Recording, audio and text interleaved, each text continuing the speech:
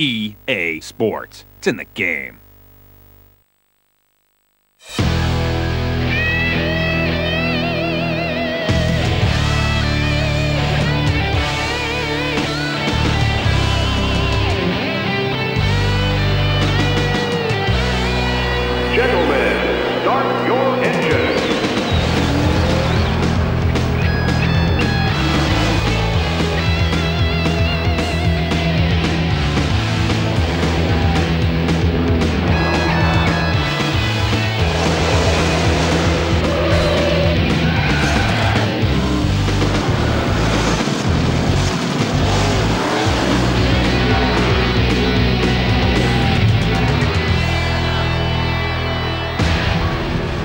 EA Sports presents NASCAR 2000.